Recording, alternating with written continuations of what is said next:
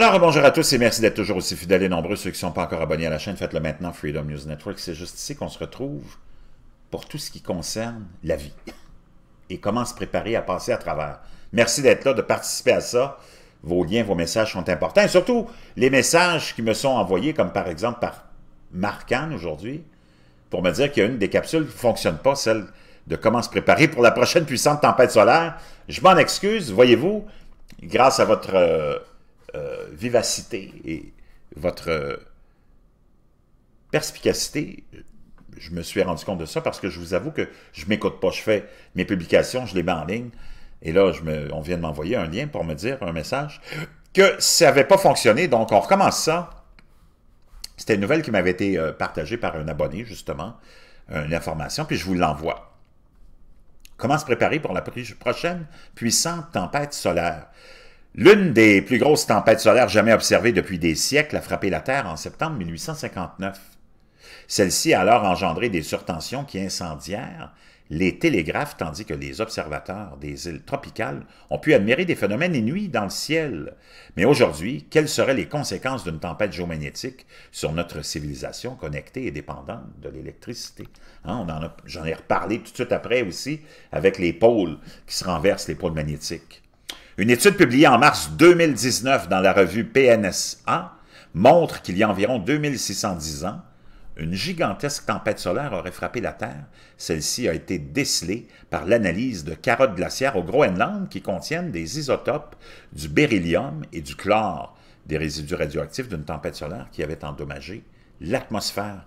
Un tel événement comparable à celui qui s'est produit en 774 avant Jésus-Christ provoquerait un cataclysme dans notre civilisation moderne, comme le laisse entrevoir l'événement de Carrington de 1859, du nom de l'astronome Richard Carrington, qui décrivit la destruction solaire hein, qui s'était produite à une vitesse proche de celle de la lumière, un flux massif d'ondes radio, de lumière visible, de rayons ultraviolets et de rayons X aspergea la Terre d'un déluge de protons, d'électrons et de particules lourdes, inédit depuis un demi-millénaire. À cette époque, tout ce que l'on pouvait craindre de pire était une mise hors service des télégraphes pendant un ou deux jours, ou, ou des magnifiques aurores boréales dans le ciel de Cuba et d'Hawaï. Mais de nos jours, quelles en seraient les conséquences? En juin 2011, des responsables réunis au National Press Club de Washington, D.C., se sont posé cette question que se passerait-il si cela devait de nouveau arriver?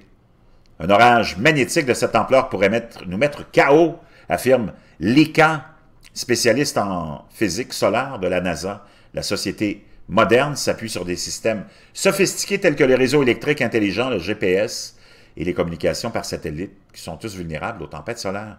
L'ICA était présente au cinquième forum annuel de l'espace dédié au climat, le Space Weather Enterprise Forum. Depuis l'année 2011, le Soleil a entamé un cycle plus court que la moyenne des cycles. Or, des cycles faibles peuvent s'accompagner de fortes tempêtes magnétiques. Mais à notre époque moderne, il en irait bien autrement. Les pannes en cascade des lignes à haute tension et transformateurs électriques intercontinentaux priveraient la Terre d'électricité pendant des semaines, voire des mois avant que les ingénieurs puissent réparer les avaries. La navigation aérienne et par bateau serait privée de GPS, les satellites seraient mis hors service, les réseaux bancaires et financiers s'arrêteraient de fonctionner. Bref, un vrai scénario catastrophe à l'ère où tout est électronique et informatique. Selon un rapport de 2008 de la National Academy of Sciences, un événement solaire exceptionnel comme il en est recensé tous les 100 ans pourrait avoir un impact économique égal à l'ouragan Katrina, puissance 20. À ce titre, l'astronome Mike Habgood, chercheur au Rutherford Appleton Laboratory en Angleterre, met en garde les dirigeants du monde dans un article paru dans la revue Nature en avril 2012. Selon lui, des tempêtes solaires d'une intensité équivalente à celles qui se sont déjà produites ces 200 dernières années pourraient priver des régions entières d'électricité pendant plusieurs mois. L'astronome cite notamment une étude américaine de 2009 qui estime qu'un blackout géant pourrait coûter 2000 milliards de dollars seulement aux États-Unis en raison des réparations qui nécessiteraient de 4 à 10 ans de travaux, sans parler du manque à gagner. Un tel épisode ne serait que peu de choses face à une tempête solaire 20 fois plus puissante. comme celle qui pourrait s'être abattue sur la Terre en 774, selon le cosmologiste Adrian Mellott de l'Université de Lawrence et Brian Thomas, astrophysicien à l'Université Washburn de Topeka. À l'époque, l'événement n'a pas été catastrophique vu l'absence de technologie, mais dans notre cas, les victimes se compteraient par centaines de millions et l'humanité ferait un bond en arrière de 150 ans, souligne Adrian Mellott. Plus proche de nous, le 23 juillet 2012, un nuage de plasma a été éjecté du Soleil directement vers l'orbite de la Terre à la vitesse impressionnante de 3000 km secondes. C'est quatre fois plus que des éruptions solaires classiques. Heureusement, notre planète n'a pas croisé cette puissante éjection de masse coronale, qui était comparable à l'événement de Carrington.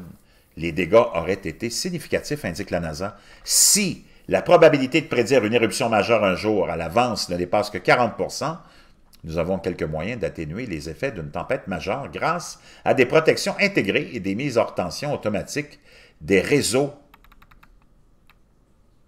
Ça, c'est la taille de la Terre comparée à l'éruption solaire du 27 juillet 1999. La protubérance solaire dégage de l'hélium ionisé à environ 70 000 degrés Celsius. Wow!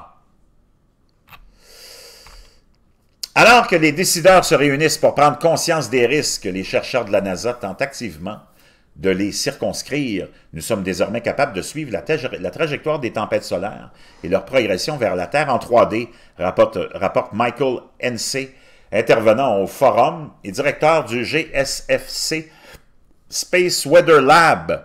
C'est l'amorce d'un système opérationnel d'alerte aux catastrophes climatiques provenant de l'espace en vue de la protection des réseaux électriques et des infrastructures de haute technologie en cas d'activité solaire intense. Le modèle est réalisé à partir des données collectées par une flotte de satellites de la NASA en orbite autour de la Terre.